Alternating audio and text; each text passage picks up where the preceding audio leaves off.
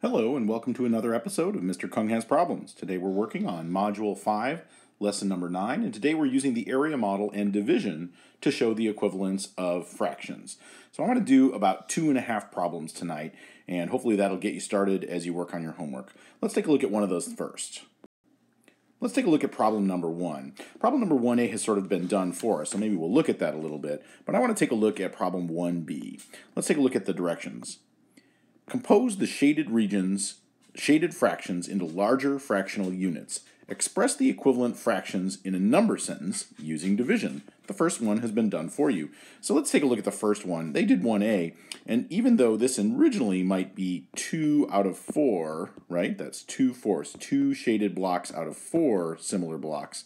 Um, we know that we could group those two together. The shaded ones we could pair up like that and like this, and we could, if we thought of that as one group out of two, we would have one half. And sure enough, we can divide 2 by 2 and 4 by 2 and get 1 half, an equivalent fraction. So if we think about the way we've been building with area models to build equivalent fractions, in this case it's almost like we're erasing this line, right? In our previous models we would have started off with 1 half and we would have added this line to create the equivalent fraction 2 fourths. In this case, we're doing the opposite. We're starting with the more complicated one where we have four parts, and we're sort of erasing this line uh, through division to create just two parts, 1, 2. All right, we should be able to do the same thing for 1b. Let's see what we start off with. Let's see, we've got four, looks like four shaded uh, parts. So that, let's see, we'll go ahead and get four shaded parts. Four out of a total of, let's see, one, two, three, four, five, six, seven, eight. Four out of eight shaded parts. Excellent. And what could we do? What could we group together uh, to make a larger fractional unit? Let's see. Well, it looks like we have these two pieces, right? We could maybe group this together, these four parts together, and these four parts together. So let's do that. I'm going to do that with a red pen, just like they did before here. So we group those four together and group these four together. And if we did that, we would end up with basically one shaded part out of two. In other words, one half. And now the question is, does the division get us from one point to another? I think that it does, because if we did the same, if we did a process to get from 4 to 1, we would have to take 4 and divide it by 4.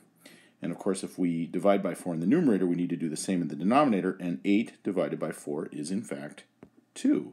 So we've just done the reverse of what we've done in previous lessons, and we've taken 4 eighths and grouped those parts together and made it into just 1 half of a larger fractional unit. Okay, let's take a look at another problem. Let's take a look at problem number two and read together. Compose the shaded fractions into larger fractional units.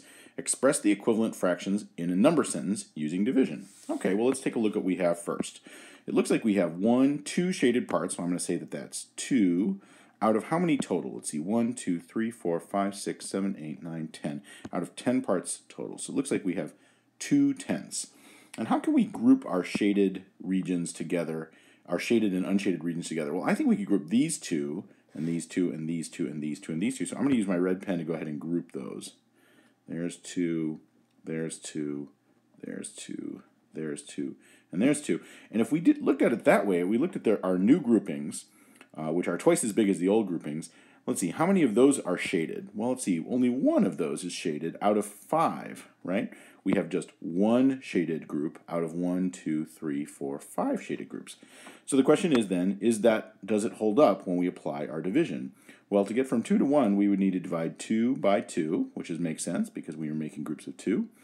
And we would need to divide 10 by 2 as well. And sure enough, 2 divided by 2 is 1, and 10 divided by 2 is 5. And again, just like in previous lessons, we've taken the larger fractional, I'm sorry, the smaller fractional units, which are more numerous, 10 total, we've and we've gone ahead and done some groupings, so we have half as many of them as before, because we've added 2 to each of our groupings.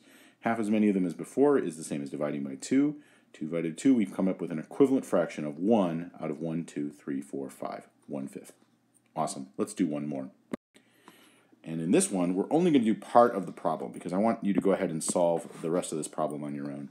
Number 3a, in the first area model, show 4 eighths. In the second area model, show 6 twelfths. Show how both fractions can, can be both fractions can be composed or renamed as the same unit fraction. So let's take a look at 4 eighths. We need to do 4 eighths in here. Now there's a lot of different ways to do 4 eighths. I'm just going to do this one because it's the one that first comes to mind. Let's see. So that divides us into eight parts, and I want to go ahead and shade one, two, three, four of them. I'm not going to do the second one. The second one, I'm going to have you do the 6 twelfths over here. I'm just going to tell you how I'm going to group uh, my units over here on the left-hand side. I'm going to grab my red pen because I think we could group these four together and then leave these other four together. So I'm going to end up grouping mine like this and like this. I'm not going to tell you exactly how it goes, but I'm going to say over here to the side that 4 eighths is what I started off with, and it looks to me like I'm going to get to 1 half, because when I did my groupings, I ended up with one shaded area out of two shaded areas, or 1 half. So I'm not going to tell you how we would do the division. In fact, I'll just put that up here. And I'm not going to tell you how I would uh, generate the second area model of 6 twelfths over here. I'll leave that to you as well, and then I'm certainly going to leave part B for you.